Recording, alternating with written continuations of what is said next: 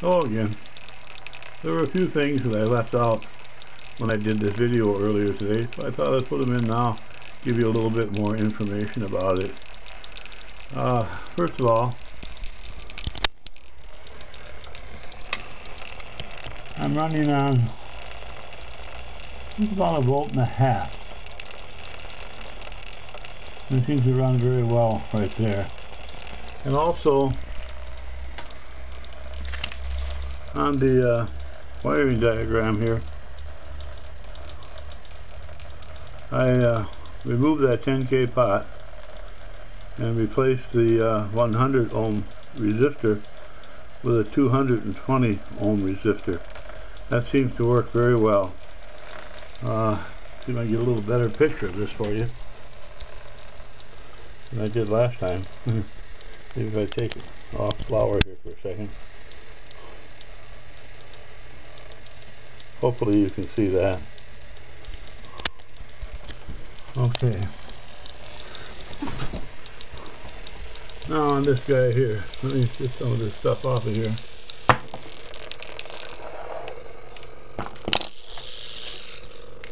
Calm him, calm all my little uh, light generators down. On this guy here, I wanted to point out that this tube here is a brass tube. It's not solid brass rod. I'm going to shut it down.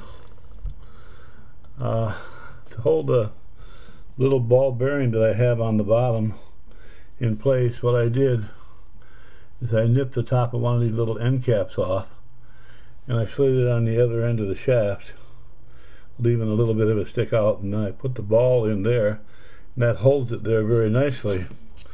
Uh, if you can see it here not. Then on the bottom with some double uh, back tape, I just stuck a little uh, little mirror for the ball to ride on. That works out very nicely. And you'll see a couple of goofy looking things here. I'll take this one out. but what it is is a little suction cup that came on the back of these little makeup mirrors that I used for the other projects. They came out of these holes here. I just took them and uh, bent them in half and stuck them in there. they help hold the uh, little uh, nylon bushing in place like so. And that works very nicely. Fire back up. On the uh, coils, the Radio Shack coils, you get three rolls when you uh, uh, buy the package for about, I don't know what it is, six and a half bucks. And I just used the 26 and the 30 out of it for my coils. And then what I did is I took and put some little brass screws in here for uh, contacts, you know, to, for, for terminals on both sides. That worked out pretty nice.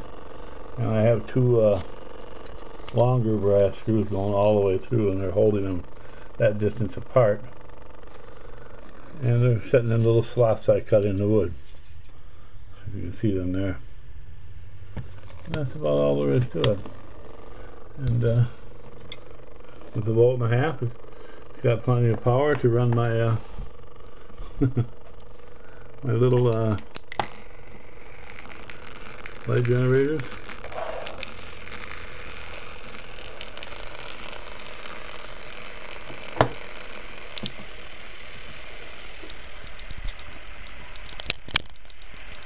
And so you can see that runs runs pretty good.